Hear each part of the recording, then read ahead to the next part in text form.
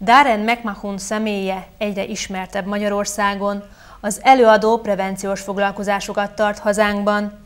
Először szülőhazájában, Ausztráliában látogatta az intézményeket, mert ott tapasztalta, hogy a mai fiatalok olyan problémákkal küzdenek, amelyek megakadályozzák őket abban, hogy megvalósítsák álmaikat. Ez is a program címe, Valósítsd meg az álmodat.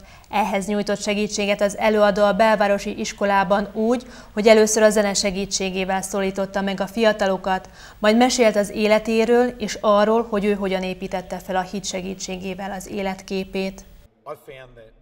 Azt látom a világban, hogy hasonló problémával küzdködnek a fiatalok, vagy nincs álmuk, vagy nincsenek olyan személyek, akik őt bátorítanák az álmaik megvalósításában, vagy rossz irányba megy az életük. Azt szeretnénk, hogy megismerjék a fiatalok azt a négy fő pontot, ami az előadásban el fog hangozni, hogy írd le az álmaidat, oszd meg ezt valakivel, hogy ismert fel a kihívásokat, soha ne add fel.